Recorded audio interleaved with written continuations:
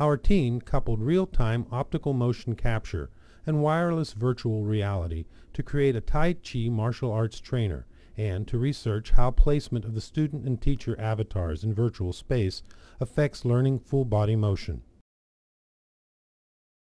12 infrared cameras are located on the perimeter of the room, which allows us to capture in a 12-foot by 15-foot space.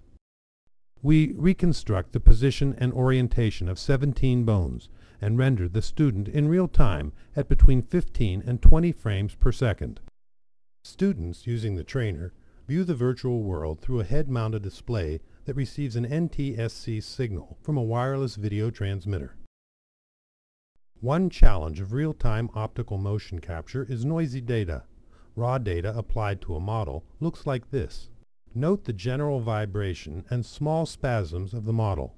In first-person view, this translates into an unacceptable level of head jitter. To solve this, we applied a filtering algorithm to the data before applying it to the models.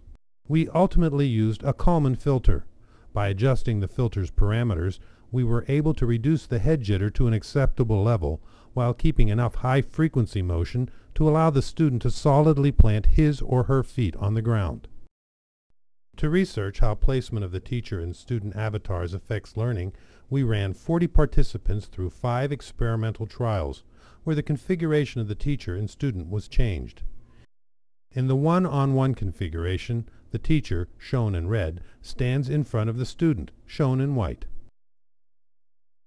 In the four teachers configuration, the teacher was replicated so that the student has a copy of the teacher in front, behind, and to the left and right. As the student turns, there is always a teacher that they can watch.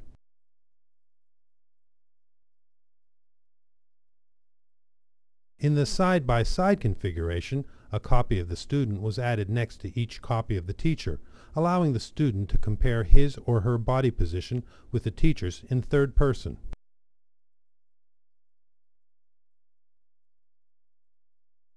In the first superimposed configuration, students fit themselves inside the red wireframe teacher. Four superimposed teachers and students were placed at cardinal points around the student.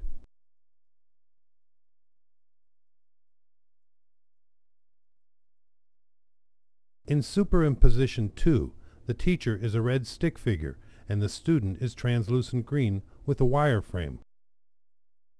After watching the motion, participants were asked to repeat it 12 times along with the teacher.